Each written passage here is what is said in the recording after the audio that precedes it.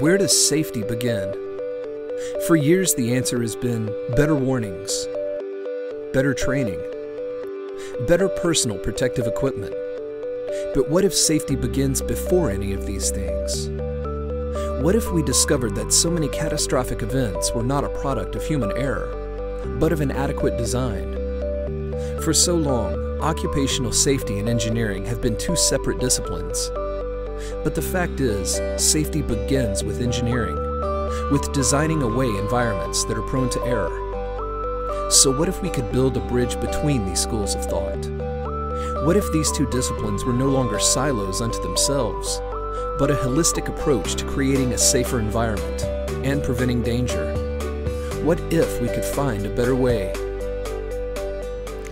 The genesis of this program really came from real world experiences. We see that in the workplaces, injuries are not going down, particularly the really severe injuries. And so the question came why not?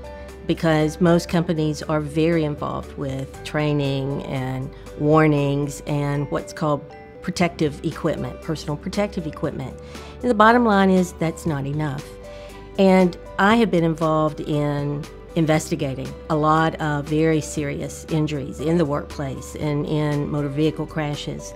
And I realized that the way to really reverse that trend was to teach people how to prevent those from ever occurring.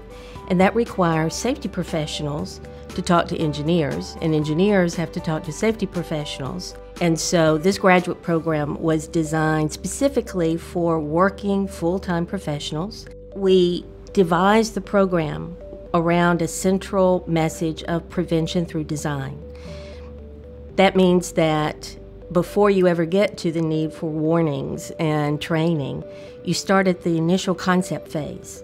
And so safety professionals have to be able to sit down with the design engineers and guide them on what is a safe design. And so often we have what's called error provocative environments. And what that means is instead of blaming people for making mistakes, you look at the environment and see if, in fact, you could have guessed that someone was going to make a mistake. And if that's the case, then you can design that away. Do you fix the employee or do you fix the system? The employee's gonna make errors, gonna get hurt. Can you engineer out the hazards? It's a very different way of thinking about safety.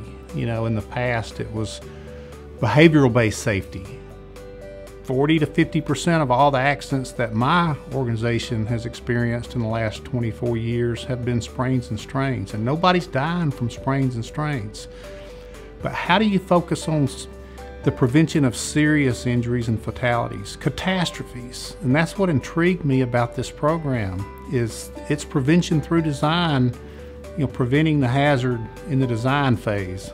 After working in safety 24 years, I have a CSP, uh, I earned my CSP, Certified Safety Professional designation, in 1995.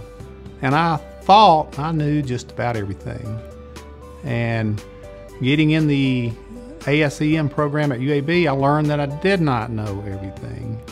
And uh, the employees will benefit from the new knowledge that I have gained. And I've done it all totally online. When I first heard about the program, here was the deal. Uh, already had a master's degree and I got a notice from American Society of Safety Engineers, local chapter, and I was a member of, and said this program is going to start, and it was just a notice. So Dr. Bidez was one of the speakers before the program started as she was accepting applications. So I wanted to go hear about it. And I, uh, so I, I, checked online and got all the information on the curriculum. And I went to hear Dr. Bidez speak. And I came home and I said, this is the first academic curriculum that I've seen that does what it needs to do to prepare you better for a job. So it was everything I said, you know, I've got to do it. I've got to do it because I think I can be better at what I do. So I said, how can you not take advantage of a program like this? My employer supported me through it the entire way so I could be a better employee for them. People think online program is an easy way. and you really don't have contact with your professors or your fellow students. And I'm sure there's some online programs that are that way, not at UAB. Because of the discussion board we do every week, peer to peer learning, and every week we have a webcam, we know each other. We have literally met each other on the webcams. And I thought the online was really good. Um, you have to be prepared for it, but very impressive, very impressive. Another part of the program that I think is terrific is that it's very flexible for this to fit the schedule of, of a working professional. Um, the courses you're uh, required to show up on Sundays for the classes, but the lectures you can listen to at times that are convenient for you. And the same with the, the projects and the discussion board postings, the, the other things that you work on throughout the program, you don't have to show up in a classroom to do that. One of the things that this program did for me was to connect me to some amazing uh, professionals in the safety field. And they're professionals not just in the, the industry that I'm in, but uh, in a diverse uh, range of organizations, from uh, the military to mining to uh, government. People work in uh, different countries, even. So it, the program actually connected me to people across the country and in other countries, and I thought that was terrific. Gave some insight and some into other approaches to safety. I feel pretty honored to be part of the first graduating class in this program, and I think it's the wave of the future.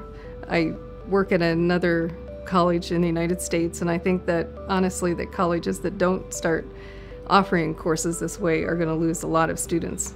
I will recommend it highly to someone who is trying to pursue a career in this area because um, it helps you cut across all the safety fields. Yeah, it doesn't limit you. By the way, I had I had a master's before, and I'm having this as an add-on master's for you know. So um, I've seen other masters that are limited to like um, like an environment or just safety or just occupational health. But this allows you to walk all through all the different fields and still have um, manage, managerial skills. You know, as, a, as an add on. It allows you to understand a lot of engineering concepts which you require for your safety work. You know, so the technical depth for this project was, for this program was really rich. One of the most rewarding things for me, particularly in this semester as we approach graduating our, our first uh, colleagues, is to see the change. We do have online classes where you're actually interacting with the, uh, the colleagues. And so I can see the change. I can see confidence. I can see new knowledge, and probably the new knowledge they have and the confidence go together hand in hand. I can see maturity and growth in some of those students that just blew my mind. Um, I had some of them early for a couple of the first two or three courses, and then later as they were doing their final projects.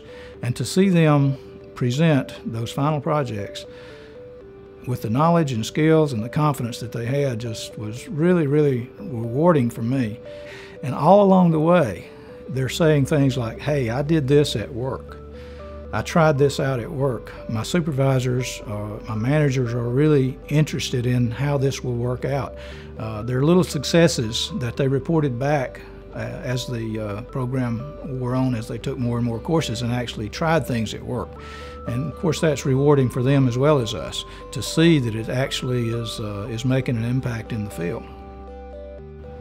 This first graduating class has been truly remarkable. In fact, it has exceeded our wildest expectations. This group of individuals, as well as the dozens that are following behind them, truly inspire me with hope. Why? Because these individuals are transformational leaders that are committed to bridging the gaps between engineering and occupational safety and health and transforming safety in workplaces around the world.